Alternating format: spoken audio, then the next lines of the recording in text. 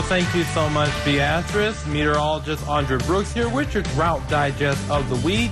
So let's go ahead and dive in onto the drought monitor, shall we? Looking here across the panhandle at this time, we're seeing that moderate to extreme drought levels here, but as we do get into southwest Nebraska, we are still hanging on to those moderate to extreme drought levels as well, but we do still have that isolated spot here in Ogallala and Grant with the exceptional drought. But as we do get into the northeastern portion of the state, even more widespread exceptional drought here.